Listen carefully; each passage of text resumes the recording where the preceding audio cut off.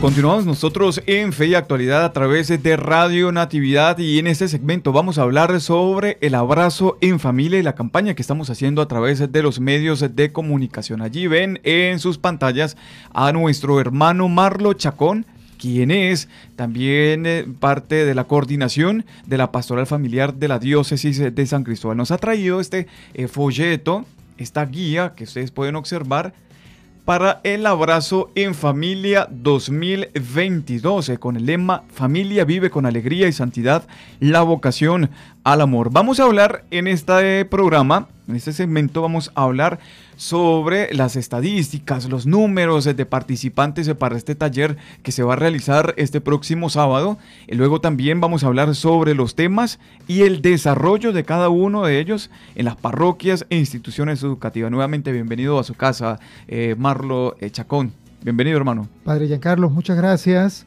De verdad, muchísimas gracias de, de parte de todo el secretariado diocesano de Pastoral Familiar bueno, mi esposa y yo ahora con esta nueva responsabilidad de matrimonio director diocesano, pues haciendo el mejor esfuerzo posible para servirle a Dios y servirle a la iglesia en esta responsabilidad. Algo importante, el, el abrazo en familia tiene ya 32 años en Venezuela. Empezó como un día, un día, un día de celebración, que es el segundo, siempre ha sido el segundo domingo de noviembre, ¿no? antes del Adviento como para preparar la familia para la llegada de la Navidad, preparar la sociedad. luego evolucionó y se convirtió en la Semana de la Familia. Hace unos 10, 9 años atrás se convierte en la Semana de la Familia y a partir de ese momento se incorporan cinco temas preparatorios. Un tema por día, cinco días antes y luego el, día central. En todos los 10 años anteriores, aproximadamente el, los talleres se han dado en los colegios, de, sobre todo los de ABEP y los de ANDIEP, las, dos asociaciones de colegios católicos. Se han dado los Eso ha ido difundiéndose y hoy en día lo están pidiendo hasta los colegios públicos de primaria y de bachillerato. Gracias a Dios. Se ha ido difundiendo la necesidad del abrazo en familia y la necesidad de esa catequesis para adultos. Ante eso, hoy, 2022, el Secretariado Nacional de la Conferencia Episcopal Venezolana de Pastoral Familiar decide que recomendar a las diócesis y a las parroquias que ya el abrazo en familia tenga la semana preparatoria, no solo en los colegios, sino también están pidiendo a las diócesis y a las parroquias que de alguna manera sencilla se empiece a celebrar la semana preparatoria también en las parroquias. Sí, señor. Importante. Sí, señor. Y en otras instituciones. ¿Eso que implica? Que el taller de este año, en todas las diócesis, después del taller nacional, que ya lo hicimos, viene ahora el taller de cada diócesis. Y en el Táchira, con una novedad, por primera vez vamos a tener un taller presencial después de la pandemia. Sí. Y el taller en simultáneo va a ser presencial y virtual. Significa que va a quedar grabado también en video y en el canal de YouTube de la Pastoral Familiar. Ok, este, este taller que se va a desarrollar el próximo sábado 22 de octubre Taller Diocesano de San Cristóbal, formación de facilitadores. Marlo, el Departamento también eh, Nacional de Pastoral Familiar e Infancia de la Conferencia Episcopal Venezolana ha preparado el siguiente material y video que se ha venido también difundiendo en las redes sociales y nosotros lo presentamos también aquí en este programa de Fe Actualidad. Hoy hablando precisamente sobre el abrazo en familia 2022 y después de este video, este material, vamos a presentar la hoja de ruta en la que nosotros debemos estar eh, muy pendientes. Lo presentamos aquí en Fe Actualidad.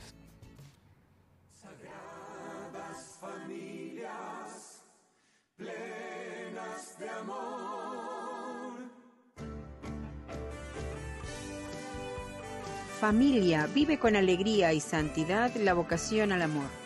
Es el lema de la campaña Abraza en Familia 2022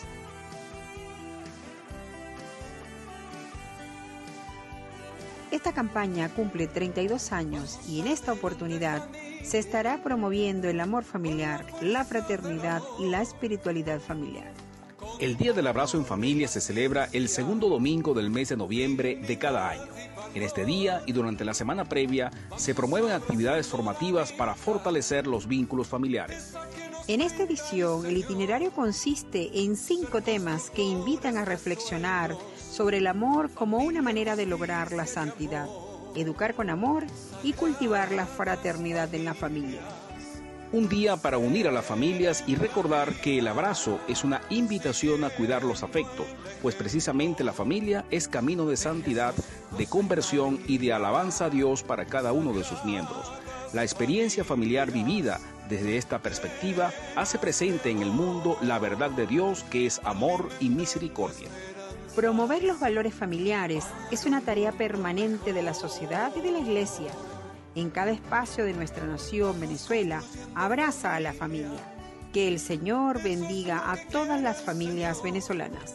Campaña Abrazo en Familia 2022. Familia, vive con alegría y santidad la vocación al amor. Así es, eh, gracias a la conferencia episcopal y este eh, departamento encargado de las familias en Venezuela. Marlo, vamos a hablar ahora inmediatamente sobre la hoja de ruta que tiene la, que tiene la diócesis eh, de San Cristóbal. Luego de este taller de formación que se va a realizar el próximo 22 de octubre aquí en la ciudad de, San Cristóbal, ¿no? Eh, ya ustedes han hecho todas las diligencias con los participantes. ¿Qué viene después de esto, Marlo? Gracias, padre Giancarlo. Mire, la hoja de ruta fue un diseño del Secretariado Nacional de Pastoral Familiar para hacer por primera vez una campaña comunicacional intensiva. La hoja de ruta es como una creación de expectativa comunicacional a través de la televisión, la radio, la prensa mm. escrita, las páginas web católicas y no católicas.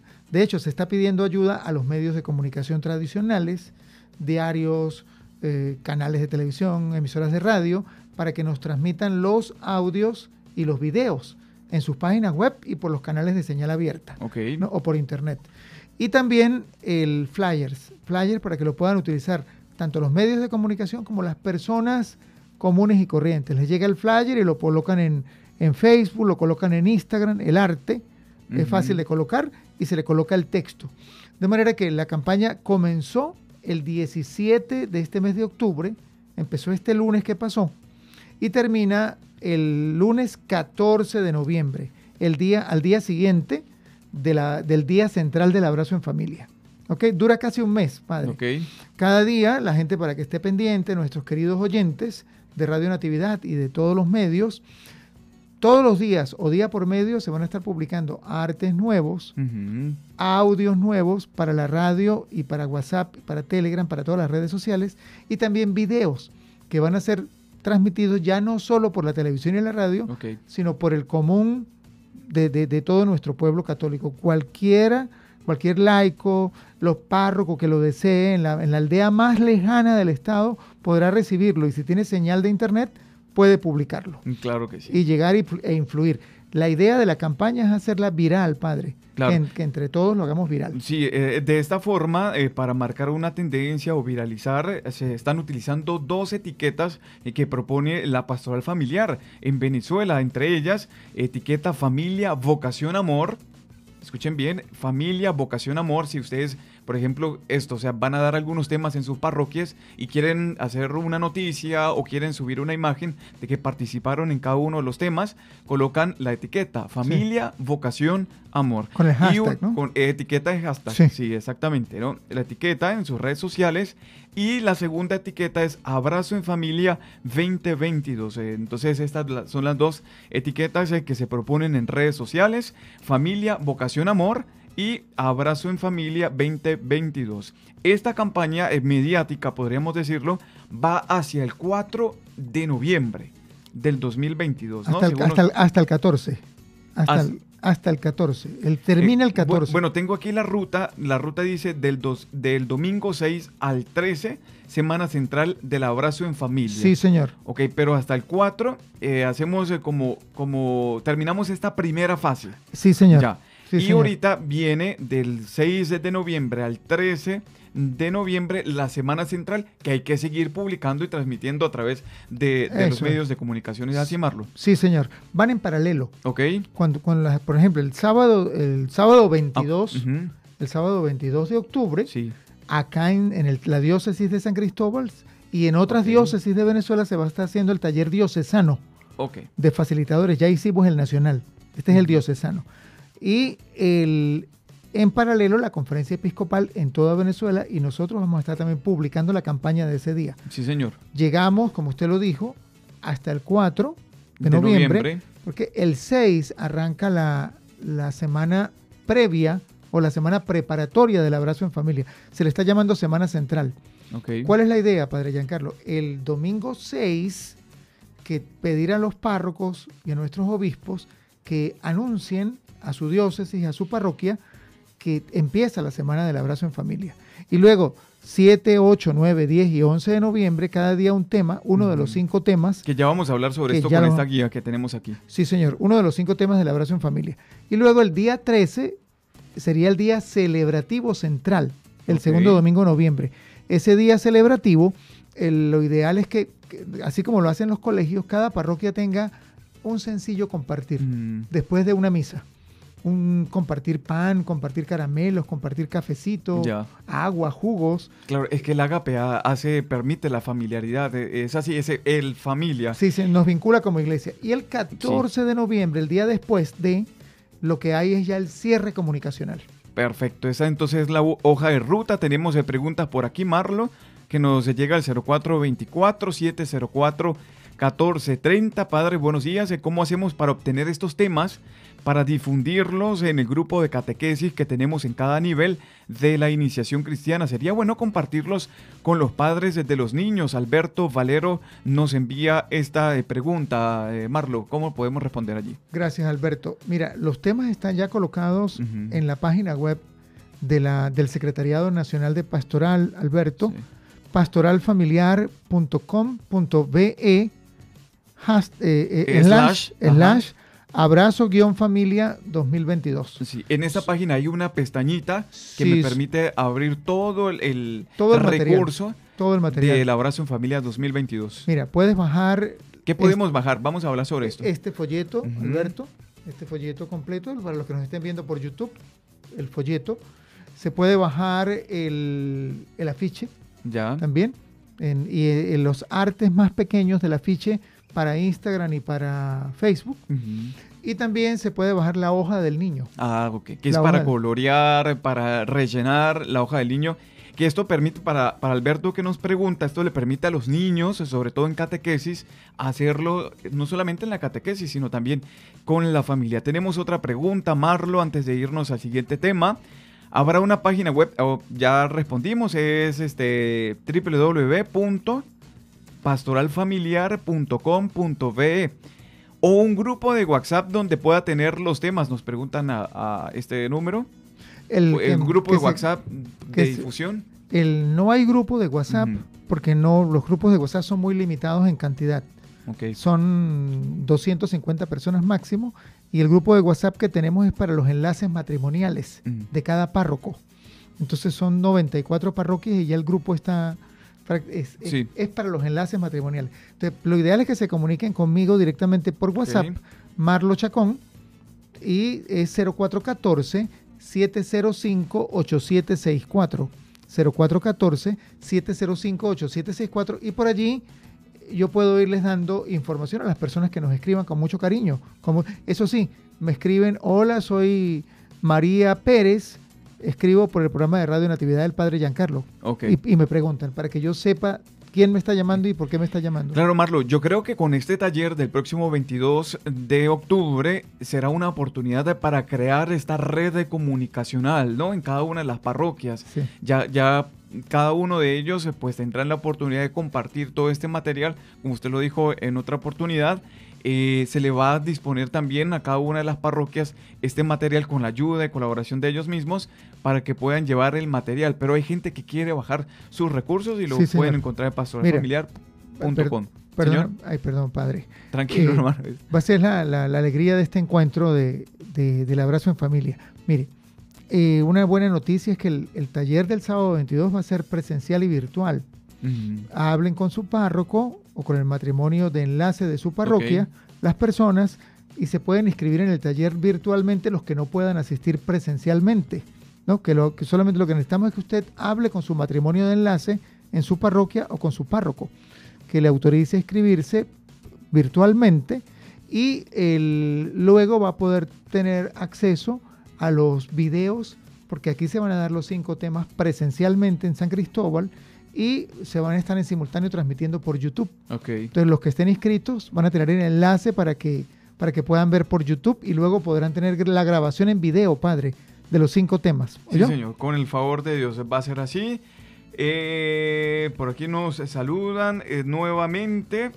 Eh, saludos a nuestro hermano Marlo y Yajaira, el secretariado de Pastoral Familiar, desde Palo Gordo, Miriam y Jaime.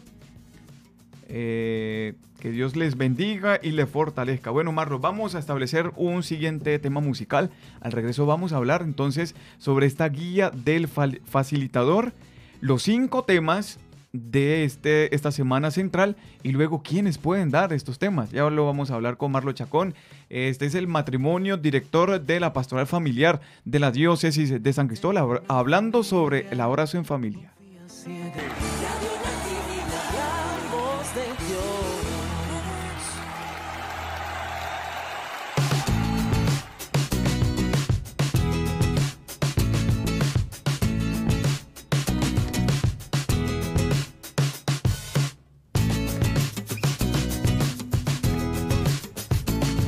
Y para esta semana del abrazo en familia hay una guía que se necesita pues distribuir en cada una de las parroquias e instituciones educativas. Se trata de la guía del facilitador con este eh, tema Familia vive con alegría y santidad, la vocación al amor. Esta guía de facilitador tiene los cinco temas que se deben dar en las parroquias, en las instituciones. ¿Cuáles son estos eh, cinco temas, eh, Marlo? Padre, los cinco temas son realmente extraordinarios. El tema uno, por cierto, en el taller diocesano lo vamos a dictar mi esposa y yo, el tema uno, okay. se llama El amor familiar, vocación y camino de santidad. Es nada más y nada menos que la, la vida ordinaria del hogar convertida en fuente de vida cristiana, en fuente de santidad, santificarse en el cuidado de los niños, en el cuidado de los enfermos, en cocinar, en tener la casa limpia, en el orden, en el arreglo de, las cosas de la casa, conversar en la cotidianidad, en salir a divertirse con los hijos, mm, la buena relación con los hermanos. Entonces, es el amor familiar, vocación y camino de santidad. El segundo tema se llama Como familia, caminemos juntos. Aborda un poco lo que es la iglesia doméstica como iglesia sinodal. O sea, el hogar es un pequeño núcleo de la iglesia que necesita ser como un sínodo, mm. como un concilio.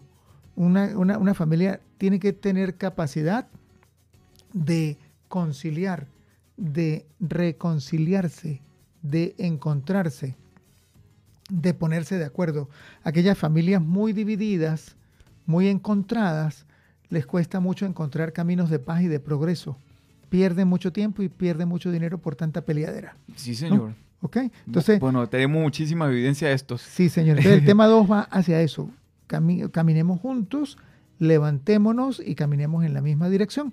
Este tema lo va a dar acá en la diócesis, en el taller diocesano, Josmen y su esposa Milagros. Claro, y de hecho esto, la, familia es iglesia doméstica y tiene que ser iglesia sinodal en búsqueda de caminar juntos, ¿no? Así es, y de, y de ponerse de acuerdo la capacidad de conciliar, de, que aun cuando se discrepe, la familia necesita amarse, quererse, tal como uno es.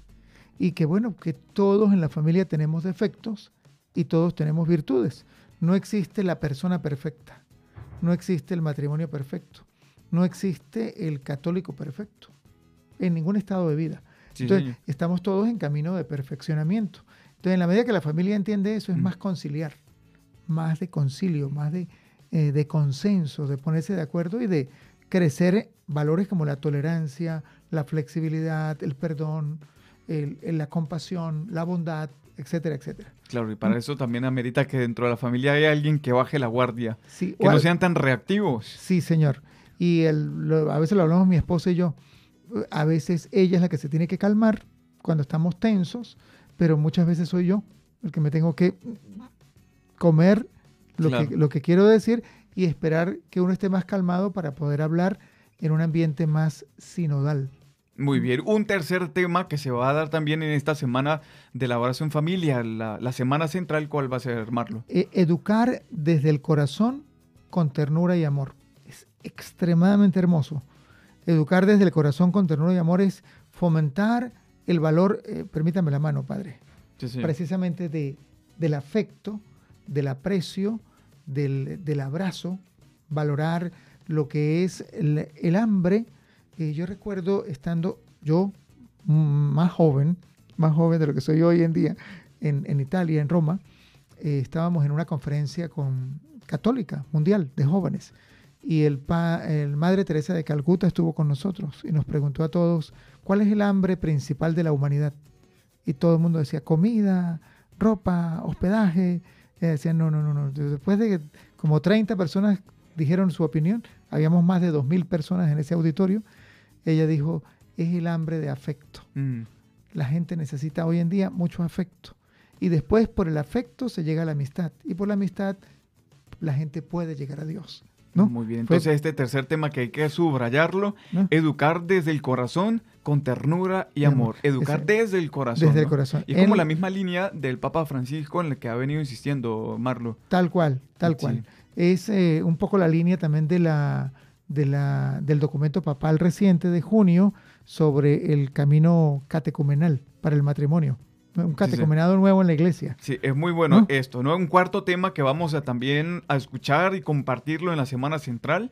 Cultive, el cuarto tema es cultivemos la fraternidad en la familia, que ya, ya no es solo la caridad como expresión de afecto y de ternura, sino la caridad como expresión en físico, material. La fraternidad es la capacidad de compartir los bienes, de dar el pan a la familia, de, recibir, de compartir la ropa, de, ayudar a terceros, de preocuparse por el pobre, por el necesitado. Entonces esa es la cultura fraterna. Ya si el tercer tema es la caridad como afecto, el cuarto tema es la caridad como efecto. O sea, está muy bien pensado en esta, en, esto, en esta guía del facilitador los temas que van a ir poco a poco concatenando la idea que se quiere, que es el amor y la santidad. Ese taller, por cierto que ese taller lo recibimos nacionalmente y cada día un matrimonio distinto desde distintas partes de Venezuela nos lo dio a todos los, los, los venezolanos de las diócesis. Y esta vez lo vamos a hacer aquí cinco matrimonios del Táchira. Vamos a estar este sábado 22 dando esto para que luego matrimonios en las parroquias y matrimonios en los colegios repliquen lo que vamos a hacer nosotros el sábado. Claro, ya vamos a hablar sobre esto. ¿Quiénes se pueden dar el, tema? Luego los minutos aproximadamente, porque recordemos que estamos en una época de la inmediatez, entonces ya después 45 minutos uno ya, ya va, que espere que el, receso. Antes de, eso vamos a hablar sobre el quinto y último tema para esta Semana Central. ¿De qué se trata, eh, el, el quinto tema es realmente extraordinario, es la familia una buena noticia en tiempos de crisis. Es presentar hoy la familia bajo una mirada repleta de esperanza, de confianza, de que la familia es realmente la solución a los graves problemas que la humanidad tiene hoy en día. O sea, vivir en familia. La verdadera familia. La verdadera familia. El designio de Dios que ha querido para nosotros, ¿no? Que ese, esa es la solución. Sí. Padre, madre, hombre, mujer, hijos, y en lo posible abuelos, ¿no? O sea, no dejar a los abuelos desamparados. Sí, sí. Ni a los eh, niños. esto, o sea, eh, antes de hablar de todo esto de, familia, tenemos que ir y subrayar y decir cuál es el verdadero concepto de familia y quiénes la integran. Porque esto lo, sabemos muy bien, este Marlo, nuestros hermanos de la ideología de género quieren imponer otra forma de familia y muchos de nuestros jóvenes están apostando por ello. Entonces tenemos que reafirmar que esta la familia viene constituida por mamá, papá, por hijos y me encanta esto. Y va en la misma línea del Papa Francisco Marlo. No dejar afuera a nuestros abuelos. Así es. Sabes que el, es mil milenario el concepto de familia. O sea, es, son miles de años donde la familia es, ha sido y seguirá siendo la familia. Esa es la familia. Es el verdadero concepto de familia es hombre, mujer, hijos. Y el problema de esto es que la familia no es ninguna ideología, es una institución. Es una institución. Y Dios la ha querido también hacia nosotros, Así para es, con padre. nosotros. Bueno, Marlo, vamos a hablar entonces sobre quiénes pueden dar cada uno de estos temas, cuántos minutos se recomiendan, qué recursos hay que utilizar, las horas, eh, o sea, de, de- de tiempo, de, de- de día, si es de, de mañana, de media tarde, de noche. ¿Cuáles son las recomendaciones para estos facilitadores? ¿Cómo no? Hasta el momento, padre, de las 94 parroquias del Táchira y de la cerca de 100 colegios también del Táchira, eh, tenemos inscritos aproximadamente 100 personas Mm. presenciales hasta este momento y unos 50 inscritos virtuales. De manera que el taller de acá de la diócesis va a ser presencial y va a ser eh, virtual, Virtual. en simultáneo Ok. eh, transmitiéndose por YouTube, Dios mediante. Ya el- se le dará a cada inscrito el enlace porque es, es privado en principio, el, el taller, ¿ok? El, quienes asisten eh, por, por principio de organización básico de la iglesia como madre y como maestra, los matrimonios de enlace autorizados por su párroco. O sea, el párroco es el que autoriza un matrimonio de enlace, o que el- de los distintos matrimonios que prestan servicio en la parroquia. Entonces, ellos son los que asisten, así como al Nacional fui, solamente estuvimos los matrimonios autorizados por el secretariado diocesano, en el diocesano asisten los matrimonios autorizados por el párroco y si ya existe matrimonio de enlace, por el matrimonio de enlace. ¿Y ellos mismos son los que dan los temas o ellos buscan Sí. a otros expertos para poder hablar sobre ello? En, a ver, lo recomendado es que sean matrimonios que hayan hecho el taller, Mm, ¿no? Para que lo, mul- lo multipliquen de manera efectiva, vivencial. Sí. ¿Qué se está recomendando? Que si la parroquia solamente tiene uno o dos matrimonios formados para la semana eh, central del abrazo en familia del 6 al 13 de noviembre, entonces que pidan apoyo a una parroquia vecina o al mismo secretariado. ¿no? Al mismo secretariado. Por ejemplo, vamos a suponer que la parroquia San José, aquí en San Cristóbal, o la parroquia del Ángel, en, en Barrio Obrero, tienen dos matrimonios que fueron al taller diocesano. Cada uno de ellos pudiera preparar dos temas, pero le falta un matrimonio para un tema, invitan a alguien del secretariado o a alguien de la parroquia vecina. Coromoto, por ejemplo, por decir Claro. algo, Iglesia Coromoto. ¿Cuántos minuticos se pueden llevar en cada uno de estos temas? Mira, los temas han, han ido disminuyendo de... Los nacionales fueron un poco más extensos porque era una práctica. Entonces, cada, cada tema se abordó como en hora y media en el taller y eran virtuales. Y había espacio para preguntas y respuestas para que los de las diócesis pudiéramos practicar. El taller de acá está diseñado de la siguiente manera. Eh, 8 a 8 y media la misa. Dios quiera que nos pueda acompañar. Claro. ¿no? 8 a 8 y media la misa, eh, 8 y media a 9 las inscripciones, 9 arranca las palabras de bienvenida y luego los temas están empezando a las 9 y 20 aproximadamente. Cada expositor va a contar con un máximo de 35 minutos que se puede, está medido, 35 minutos de exposición y luego 6 minutos para preguntas y respuestas. Ok. Muy bien. ¿Cuál es el cálculo que entre exposición del facilitador, preguntas y respuestas y una canción o una oración no pase de 40 minutos cada facilitador? Entonces tenemos, Cuando, y cuando vayan a multiplicar esto en sus parroquias o instituciones, también deben durar esos minuticos, ¿no? es lo que yo recomiendo, porque eh, se, se mide exactamente el tiempo de mayor resistencia psicológica de la persona a una clase, es de una hora académica.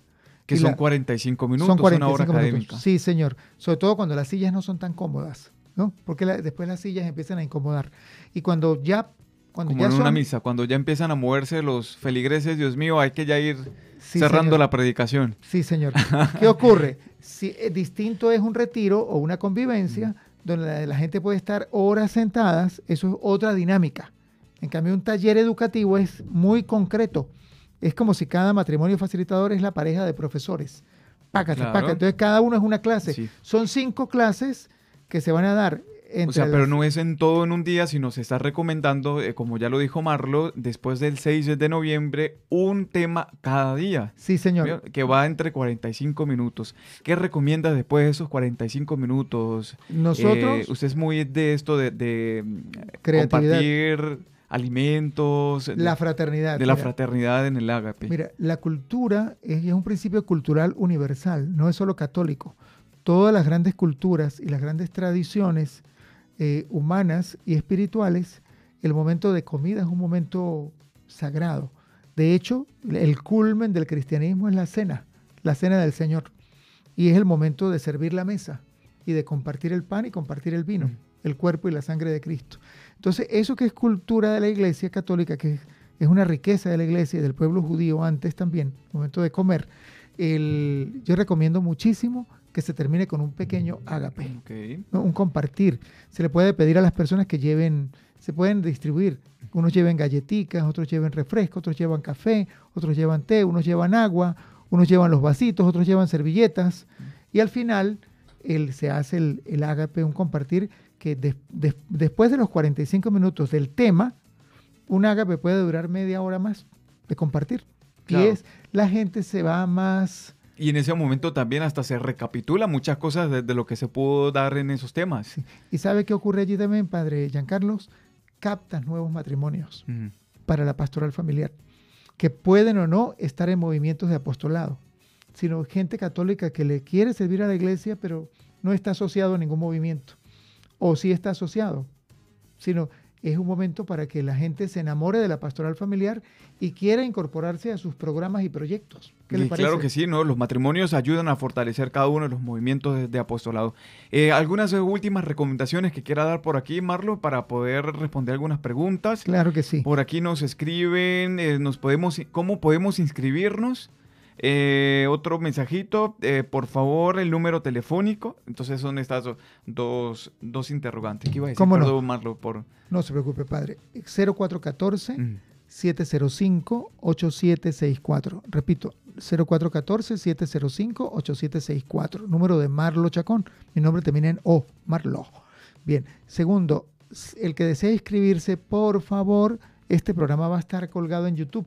Abraham nos está ayudando. Sí, claro que sí. Esto va a estar colgado en YouTube para hacerlo llegar a usted. Si lo necesitan, me lo solicitan por teléfono. Yo les hago llegar el enlace del programa. Hablen con su párroco. Hablen con su párroco. Díganle que escucharon el programa. Muéstrenle el video y díganle que ustedes desean participar para que él los autorice. O sea, si no hay autorización de párroco, eh, no, no hay inscripción. excepto los que vienen por colegios. Ok o por eh, asociaciones mm. o instituciones públicas educativas. Por ejemplo, profesores pueden inscribirse, pero también tienen que tener el permiso de su colegio, de su institución, así sea pública. Entonces, todo el que se inscriba tiene que estar autorizado por alguien. ¿Ok? Y si no lo están, por favor me escriben a ver si logramos de alguna manera eh, algún cupo para usted por alguna de las instituciones que asisten. Perfecto. ¿Okay? recordamos nuevamente el número, Marlo, por favor. 0414-705-8764. Si recuerden, si la parroquia no tiene matrimonio de enlace todavía constituido, pónganse ustedes a la orden, díganle al párroco que ustedes pueden ser el matrimonio de enlace. ¿Qué hace el matrimonio de enlace, Padre Giancarlos? Su apostolado principal es ser como un relacionista público mm. entre la parroquia, el párroco y el secretariado diocesano, para no estar tan distantes porque estamos en el mismo estado Táchira, pero, pero si no hay un matrimonio de enlace, a veces es muy difícil hacer llegar la comunicación. Entonces, bueno, ese es un punto importantísimo. Claro, estos matrimonios de enlace son un recurso tan importante, por ejemplo, para fortalecer la catequesis familiar. Sí, señor. Estos son, de verdad que sí, eh, tuve la experiencia en la parroquia Santísima Trinidad en La Fría, cuando estaba allá, fui catequista también, y veíamos que teníamos eh, eh, matrimonios de enlace y ellos mismos buscaban hasta otras personas expertas en temas que, que, iban apoyando poco a poco estos encuentros familiares. Marlo, una última observación de esto, me gustaría escuchar también eh, su, su, opinión. ¿Cómo ve usted las familias aquí en el Táchira? Mira, las familias del Táchira tienen sus fortalezas y tienen sus debilidades como en todas partes, tienen sus luces y sus sombras. Una virtuosidad enorme de la familia tachirense comparada con otros estados es que es muy laboriosa. La gente del Táchira es muy laboriosa, muy trabajadora. Le gusta mucho estudiar. A la gente le gusta prepararse y a los padres, aún sin estudios, como fueron mis padres, lo, lo, impulsan a uno. Bueno, también, mi madre también. Te empujan para que estudies y para que te prepares. Mi mamá, por ejemplo, que solo estudió hasta quinto grado, que vive todavía, gracias a Dios, se sentaba al lado de nosotros, o mi papá. Mi papá, no, mi papá leyendo el periódico y nos comentaba las noticias cada hora más o menos de lo que iba leyendo y mi mamá se ponía a ayudarnos a hacer los dibujos, ayudarnos a pintar eh, y, se iba a hacer la comida y entonces pasaban y nos veían que estábamos estudiando porque lo que estábamos estudiando nosotros era más complejo de lo que ellos habían estudiado. Entonces ellos no entendían los temas, pero sí sabían que teníamos que estudiar. Entonces esa laboriosidad del papá tachirense, de la mamá tachirense, es realmente digna de ser admirada, de ser valorada y de ser eh, fortalecida en, las generaciones jóvenes actuales. Veo la familia tachirense en graves peligros por todas estas tendencias este, de ideología de género, pero un peligro mundial, ¿no? Eh, por eh, la parte de la parte de la diáspora, la salida de tanta gente, las, las, divisiones de las familias, la salida de tantos tachirenses. En este momento se estima que hay como 200.000 personas afuera del Táchira. O sea que el Estado eh, tiene mucha gente afuera también. Ahora, si aprovechamos el potencial que tiene el, el tachirense para orar, para ser fiel a la iglesia, por ejemplo, fue asombroso el acto del centenario, el del 12 de, octubre, en el gimnasio cubierto, de fútbol sala. Bueno, ver allí 12 mil personas, aquello era impresionante y se quedaron como 3 mil afuera, mm. ¿no? Se colegios enteros se quedaron afuera, no pudieron entrar a la actividad. Entonces, y grupos parroquiales. Entonces, una, una tierra tachirense que vibra con la presencia de Dios, con el amor al Santo Cristo, con el amor a la Virgen, con el amor a la palabra, es una tierra de gracia que, tiene que aprovechar eso. Y que, ¿a qué invitaría yo a la familia tachirense? A no descuidar la oración en familia, a no descuidar la consejería de los padres a los hijos y de los abuelos a los hijos y a los nietos. O sea, que eso se conserve, que ese calor se conserve fuertemente, como el programa de radio, calor de hogar para familias felices. Si conservamos eso, para el Táchira, el camino de salvación pasa por la familia. Así es, va a ser con el favor de Dios y, y fortaleciéndose también con esta nueva experiencia que vamos a vivir el próximo 6 de noviembre, la semana de abrazo en familia que ha comenzado ya en nuestros medios de comunicación social. Muchísimas gracias por estar con nosotros, Marlo. Un, un segundo, padre, le pido más para eh, hacerle llegar un mensaje de cariño y de afecto a los párrocos, a todos los párrocos de la diócesis y a todos los matrimonios de enlace, para pedirles su apoyo en, en por favor, ayúdenos a que llegue por lo menos una persona de cada, de cada parroquia, inscrita y autorizada por, por usted, eh, querido párroco, por usted, querido matrimonio de enlace, ayúdenos porque el secretariado está haciendo ahorita un esfuerzo tecnológico enorme. Estamos, tenemos hasta plataforma virtual de inscripción. al, instante sabemos quién se va inscribiendo. Al instante sabemos cuántas parroquias están inscritas y cuántas no. Cuántos colegios han enviado gente y cuántos no. Entonces, con tanta tecnología ahorita no se puede ocultar la información. Está a la vista.